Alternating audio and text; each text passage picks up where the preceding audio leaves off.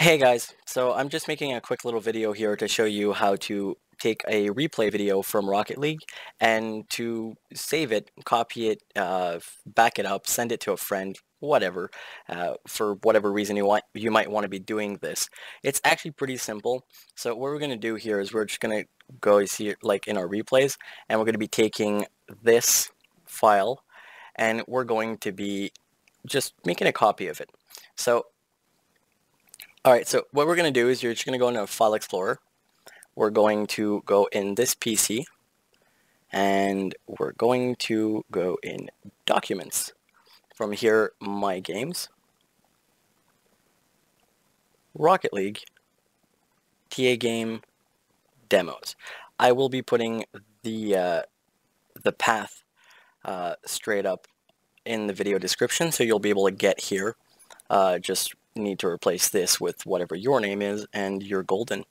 So basically there are these replay files right here. Now what we want to do is just match the date with whatever date we have here. So see 2v2 Mannfield Online January 13th. So we're going to be looking for January 13th. It's this one right here. So I'm just going to copy it and paste it right here. Alright, come back here, click on the replay, as we can see, it's just a simple replay. There you go. We're here. And we're going to just delete it. Yes, delete the replay. Exit to main menu. As you can see, the file is no longer here.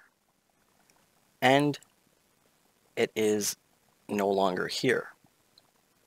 Alright, so all I gotta do is just put the file back and uh, there you go, Mannfield Online, 13th, it's back. So that's pretty much it. You want to send it to someone, you copy it, you share it, you send it to whatever. You can compress your files. You can save them and clean up your, your shit here so that there's less replays, but uh, also keep the ones that you want. Well, you know what? I, I feel like renaming one. Let's see if that works.